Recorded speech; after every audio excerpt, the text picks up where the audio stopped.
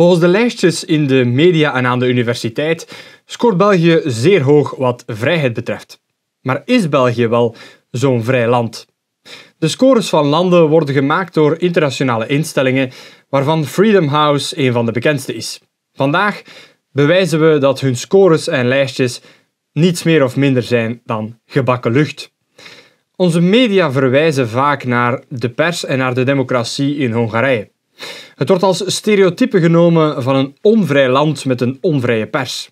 Sterke man Orbán, die keer op keer als een halve of zelfs een hele fascist wordt voorgesteld, zou er dictatoriaal bepalen wie er wat mag vertellen. De oppositie die zou er monddood zijn en de democratie onbestaande. Zoals zo vaak houden de media ons ook hier echter een rad voor de ogen. Hongarije is wel degelijk een functionerende democratie en de mensen die zijn er vrij. Het land is natuurlijk verre van perfect. Er is corruptie en er worden machtspelletjes gespeeld. Net zoals dat overal gebeurt en niet in het minste bij ons in België. Maar in tegenstelling tot wat de media beweren, is de pers in Hongarije niet in handen van Orbán en is er wel degelijk sterke oppositie. Waar Hongarije wel verschilt met België, is bijvoorbeeld de populariteit van de eerste minister. Orbán die is zeer populair en haalt de absolute meerderheid. Een sterk contrast met hier in België, waar de zevende partij van het land de eerste minister levert. Dat de pers in Hongarije dan meer naar rechts zou hellen, is in die context eigenlijk helemaal geen schande, maar wijst eerder op een gezonde democratische band tussen volk en media.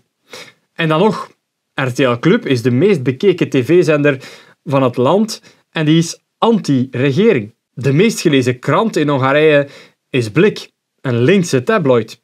En online is index.hongarije zeer groot en ook dat is links. Men springt hier dus in een kramp omdat Hongarije geen uitsluitend linkse pers heeft, zoals bij ons het geval is. In Vlaanderen stemt de bevolking massaal rechts, maar het overgrote merendeel van de journalisten is links. Dat geven ze zelf zo aan. Hun verslaggeving ten aanzien van rechts is uiterst vijandig. Alle grote kranten en alle tv-zenders zijn van dezelfde linkse overtuiging en krijgen massaal subsidies. We zitten hier letterlijk met een regimepers. Pas nu, dankzij het internet, zien we kleine rechtse initiatieven groeien, zoals News en dit mediakanaal waar u nu naar kijkt. Het zit in Vlaanderen dus eigenlijk veel, veel schever dan in Hongarije. In gans België is er geen enkele partij die in de buurt komt van de populariteit van Orbáns Fidesz-partij. En Hongarije heeft nooit speciale wetten geschreven om de grootste oppositiepartij letterlijk te verbieden, zoals de regering Verhofstadt dat heeft gedaan met het Vlaams Blok. De aanvallen op Hongarije die lijken dus vooral politiek en ideologisch geïnspireerd. Hongarije krijgt kritiek vanuit de EU en internationale instellingen omdat het een rechtse nationalistische koers volgt. Het wil geen deel uitmaken van die internationalistische, globalistische klik. Dat is het probleem. Daarom staan ze in het oog van de storm. Daarom zijn die internationale lijstjes zo kritisch. En om exact dezelfde reden scoort België zo goed op die lijstjes. En dat is pas helemaal gek. Want België is in realiteit helemaal geen topper qua vrijheid en democratie. Dat weten wij allemaal. Een van de belangrijkste organisaties die naar eigen zeggen persvrijheid en democratie meet en beoordeelt, is dus Freedom House. En we gaan hun parameters hier eens tegen het licht houden en hun beoordelingen over België eens op hun waarde meten. Want België blijkt daar een gidsland met 96 punten op 100. We halen een stuk meer dan bijvoorbeeld de Verenigde Staten. Nochtans, the land of the free and the home of the brave. Dat haalt maar 83 bij Freedom House. Maar ja, in 2020 was Trump nog president natuurlijk en over hem mag je in die internationalistische klik natuurlijk niks positiefs zeggen. Nu, hoe komt Freedom House tot hun conclusies? Laten we dat eens onderzoeken. De score op 100 die komt voor 40 punten uit zogenaamde politieke rechten en voor 60 punten uit zogenaamde burgerlijke vrijheden. En om te beginnen komen de verkiezingen aan bod. Op drie vragen krijgt België telkens 4 op 4. En de eerste vraag die luidt als volgt. Is het huidige staatshoofd verkozen via vrije en eerlijke verkiezingen. De tweede vraag is de huidige wetgevende macht verkozen via eerlijke en vrije verkiezingen. En de derde vraag, zijn de verkiezingswetten eerlijk en worden ze onafhankelijk afgedwongen? 4 op 4 voor België voor de eerste vraag, dat is niet ernstig. Ten eerste is België een monarchie. We hebben dus een onverkozen staatshoofd, namelijk de koning. En ten tweede hebben we dan onze premier, Alexander de Croo, die komt uit de zevende grootste partij van het land. De zevende. En bovendien is België de optelsom van twee democratieën en slaagt men er nu al lange tijd niet meer in om een democratische meerderheid te halen langs beide kanten van die taalgrens. Historisch werd de communautaire vrede letterlijk afgekocht met geld, net zoals in de derde wereldlanden. Hetzelfde geldt voor de tweede vraag, de verkiezingen van de wetgevende macht. In een beoordeling lezen we niets over de macht van de politieke partijen en de partijfinanciering in België. Nochtans zijn de regels hier ronduit corrupt. Partijen die keren zichzelf gewoon miljoenen uit op de kosten van de belastingbetaler. Toen de traditionele partijen te veel stemmen begonnen te verliezen en dus ook inkomsten, stemden ze zelfs een nieuwe wet waarbij ze zich van extra geldstromen verzekerden. Nieuwe, jonge of kleine partijen die worden zo sterk benadeeld. Dat de wetgevende macht, het parlement, de facto al lang volledig buitenspel staat en het de partijhoofdkwartieren zijn die alles beslissen in deze particratie, is ook geen punt volgens Freedom House. En dan zeg ik nog niets over het feit dat een Waalse stem veel goedkoper een zetel krijgt in het federale parlement dan een Vlaamse stem. En zo haalt Vlaams Belang met 810.000 stemmen 18 zetels, terwijl de PS met 640.000 stemmen maar liefst 20 zetels haalt. En hetzelfde geldt voor vraag nummer 3, de verkiezingswetten. Die zijn nu niet bepaald eerlijk en onafhankelijk te noemen in ons land. Kijk naar wat de Sihame-saga ons leerde. De controlecommissie die ziet enkel in actie na een klacht en de termijn daarvoor die is maximaal 200 dagen na de verkiezingen. Tegen dat een schandaal bekend wordt, is het dus al verjaard. Dit zijn door politici bedachte regeltjes om zichzelf in te dekken. En het is nog erger, want het Europees Hof van de Rechten van de Mens veroordeelde België in 2020 nog wegens het schenden van het recht op een eerlijk verkiezingsproces. Het Waals parlement had in een zaak over de verkiezingsuitslag een verzoek tot hertelling van de stemmen afgewezen. Het Hof oordeelde terecht dat in België parlementaire rechter en partij zijn over hun eigen verkiezingen. Het volgende hoofdstuk gaat over pluralisme en de publieke participatie. En de eerste vraag die luidt als volgt. Kunnen burgers zich vrij organiseren in partijen of competitieve groepen en werpt het systeem daar geen obstakels op? Voor België meldt men dat het robuust maar gefragmenteerd is. Meer niet. Vier op vier punten. Wanneer we vergelijken met andere landen, wordt dat echt al helemaal te gek. Volgens Freedom House is het een probleem dat in Hongarije te veel partijen mee kunnen doen met de verkiezingen. Zo zou men daar de oppositie willen verzwakken. Verdeel en heers, klinkt het. Hongarije krijgt maar twee van de vier punten. Omgekeerd, Nederland heeft ook quasi geen drempel voor partijen om mee te kunnen doen, maar krijgt dan wel 4 op 4 op diezelfde score. België met een ondemocratische kiesdrempel die doelbewust door de regering Verhofstadt werd ingevoerd om de oppositie uit te schakelen, om het ontstaan van nieuwe partijen te bemoeilijken, is dat een voorbeeld van hoe het niet moet op dat vlak. Al deze feiten houden Freedom House er niet van om toch weer 4 op 4 punten te geven aan België. De volgende vraag. Is er een realistische kans voor de oppositie om meer macht te verwerven via verkiezingen? Nu, over België schreven ze dat er een nieuwe meerderheid werd gemaakt na de laatste verkiezingen en dat alles gesmeerd verloopt. De score opnieuw 4 op 4. En daar zakt mijn broek toch echt wel van af. Want België, dat een cordon sanitair kent waar het Vlaams blok simpelweg werd verboden na een aanpassing van de wet. België, waar alle middelen ingeschakeld werden om de kritische oppositiebeweging Schuld en Vrienden en Voorpost kapot te maken. België, dat de tweede grootste democratische partijen buiten spel zet, en België, waar het grootste deel van het land democratisch niet vertegenwoordigd wordt in de regering, kan hier toch geen perfecte score halen. Ik kan opnieuw de zeer royale partijfinanciering aanhalen. En hebben het dan nog niet eens gehad over de politieke benoemingen waarmee de machtspartijen zichzelf betoneren in de structuren van de macht. Het ultieme wapen om de burger macht te geven wordt door Freedom House niet eens aangehaald of beoordeeld. Een referendum. Referenda zijn hier in België quasi verboden. De laatste keer dat er een werd gehouden, viel België haast uit elkaar en sindsdien geldt het als een vloek. Terwijl referenda net het meest democratische middel zijn bij uitstek. Het is geen toeval dat een land als België daar niet tegen kan. Hongarije daarentegen hield in 2016 zelfs een referendum over migratie, waarbij de kiezer zeer duidelijk de EU-quota wegstemde. Zo'n referendum zou ik heel graag eens georganiseerd zien in België, maar dat zal er niet van komen, tenzij natuurlijk Vlaams Belang in 2024 aan de macht komt en echte directe democratie invoert. De volgende vraag dan. Zijn de politieke keuzes van de mensen vrij van andere krachten die extern zijn aan de politieke sfeer of door politieke krachten die niet politieke middelen gebruiken?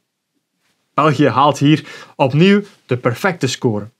Kiezers en kandidaten zijn hier vrij. Nochtans, het cordon sanitair trekt zich door, ook buiten de politiek. Vlaams Belangers die worden uit de vakbonden gezet en het engagement bij de partij is voor veel mensen economisch en sociaal een doodvonnis. Over de extreme verzuiling, waardoor elke publieke benoeming gebonden is aan een bepaalde politieke partij, hebben de experten niets opgepikt bij Freedom House.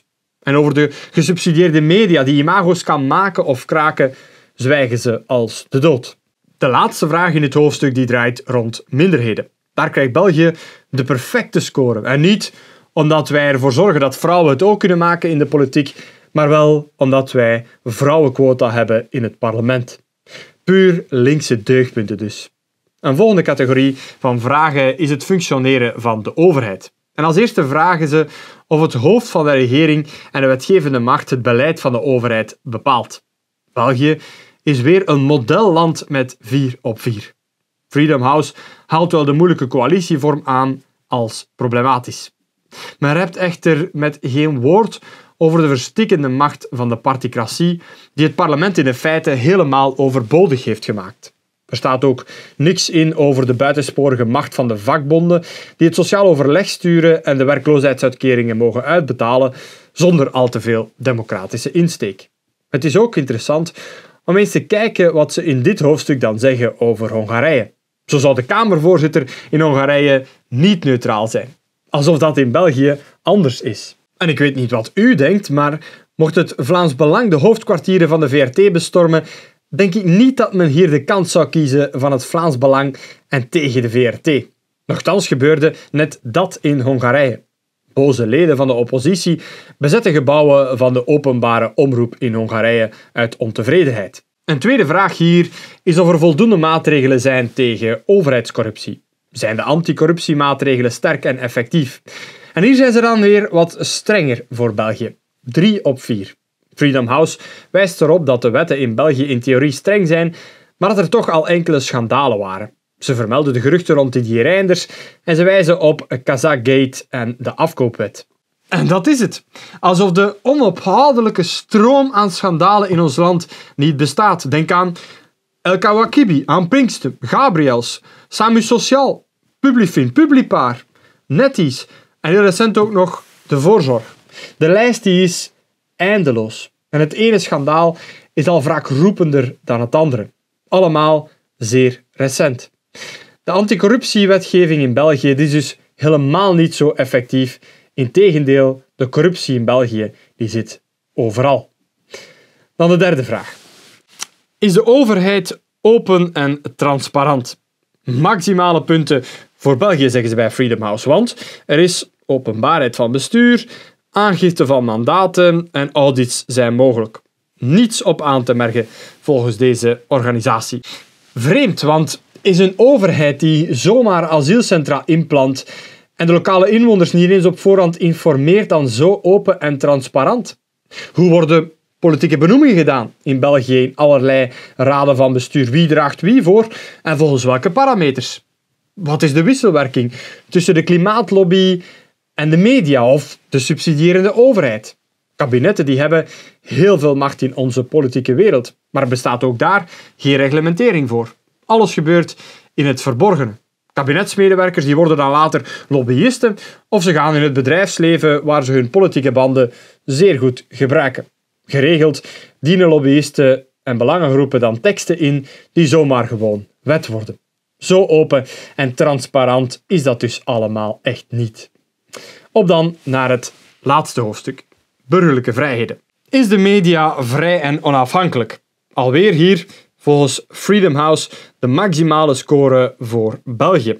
De grondwet garandeert de vrijheid. Er is toegang tot publieke en private kanalen die een waaier aan meningen presenteren. Internettoegang is ongebonden. Dat zegt Freedom House. Dat is natuurlijk een aflevering op zichzelf waard, want de media is in België deel van het systeem, rijkelijk gesubsidieerd en absoluut niet kritisch voor de regering. Die waaier aan meningen, die zal ergens liggen in België van het linksliberalisme over het socialisme naar het communisme. Maar veel breder dan dat is die natuurlijk niet. Buiten dan kleine rechtse initiatieven zoals Palnieuws en dit mediakanaal. Die moeten concurreren met het linkse mediakartel dat honderden miljoenen euro subsidie krijgt per jaar. En dat het internet hier vrij is, dat is ook al veel gezegd. Het wordt alsmaar minder vrij, met steeds meer toezicht en censuur. En als Van Quickenborne zijn zin krijgt, dan wordt het nog erger. Bij de openbare omroep, de door belastingsgeld betaalde VRT, is het al helemaal scheef getrokken. Het Vlaams Belang wordt er serieus benadeeld en als ze al eens uitgenodigd worden, dan is de sfeer nogal vijandig. Bekijk het interview dat ik had met de bevooroordeelde Kathleen Koolzer maar eens op na. Alle andere partijen die worden dan oververtegenwoordigd op tv. Vooral dan de liberalen, die ook al uitstekende banden hebben met DPG-media, zijn hier de winnaar. Hoewel ze maar 13% haalden bij de verkiezingen van mei 2019, waren ze aanwezig in 36,5% van de aflevering met politici bij de staatszender. De volgende vraag dan.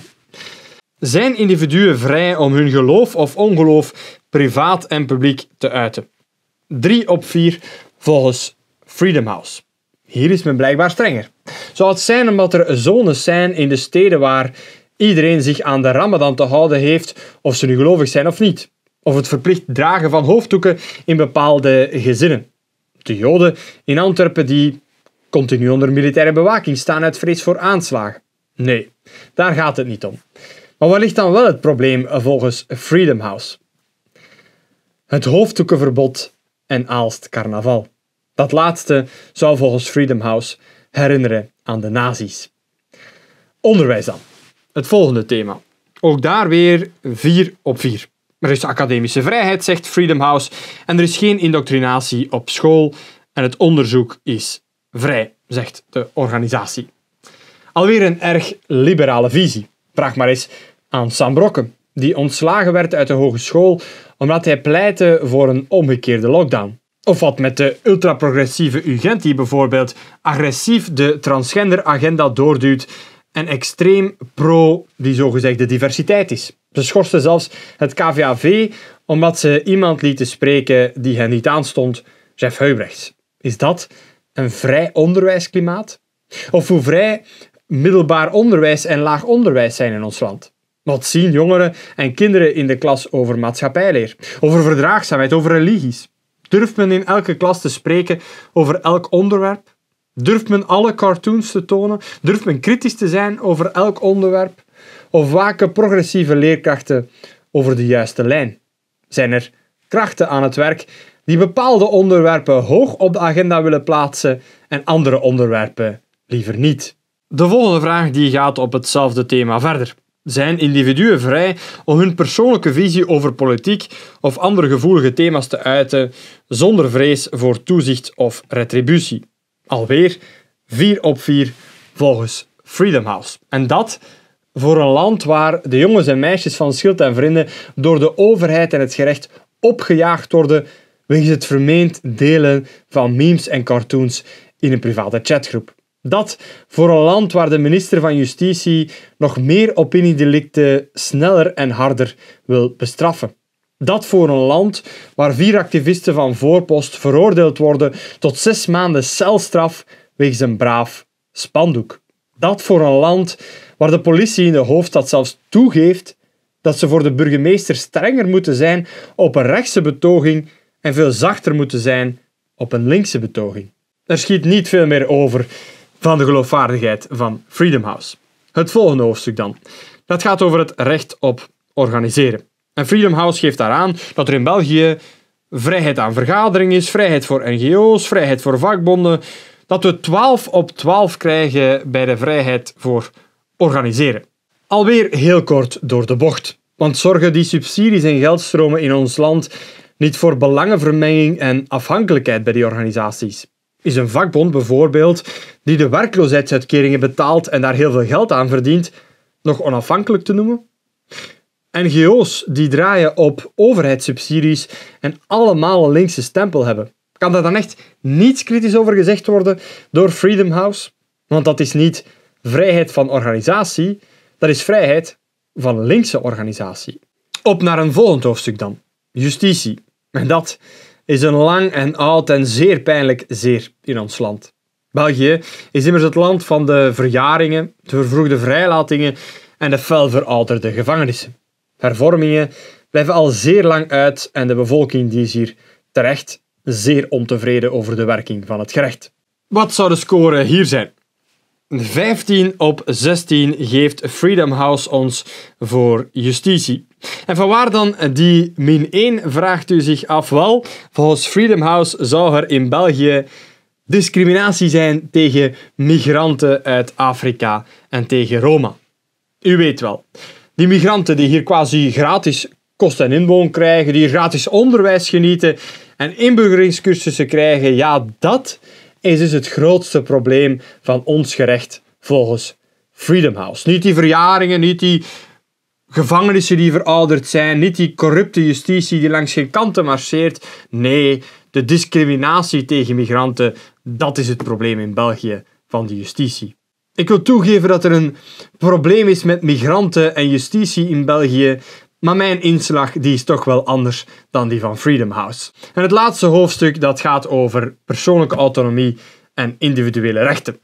De vrijheid van beweging, de vrijheid om een zaak te beginnen, de vrijheid van partnerkeuze en de economische vrijheid. Ook hier krijgt België heel goede punten en eerlijk, dat is wel terecht. Want voorlopig is dat deeltje wel nog goed in België.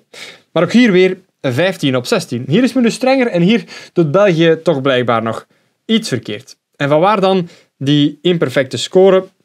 U kan het al raden zeker. Vreemdelingen krijgen niet genoeg gelijkheid en kansen op economisch vlak. Hun werkzaamheidscijfers die zijn te laag en dat is de schuld uiteraard van de Vlamingen. Als België dus al eens minder scoort, dan is het omdat dit land volgens Freedom House niet links progressief genoeg is. En als we alle cijfers optellen, dan haalt België dus 96 op 100. Goede punten. Progressieve punten, linkse punten. Holle, nutteloze punten. Laat u dus niet vangen wanneer journalisten, politici of professoren weer eens aankomen draven met hun misleidende lijstjes om landen te straffen of op te hemelen.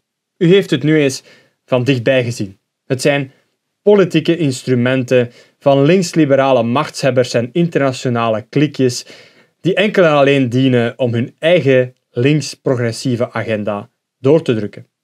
Vind jij ook dat België niet te hoog van de toren moet blazen over democratie en vrijheid tegen andere landen?